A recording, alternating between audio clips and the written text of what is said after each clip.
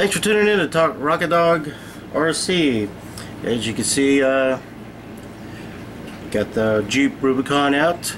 But there's something I wanted to show you that's a very cool product.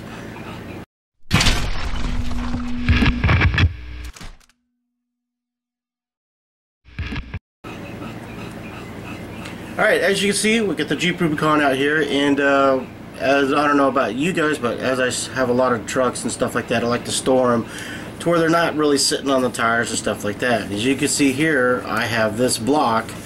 It is from Crawler Innovations. So, what we got here, it's called the cell block.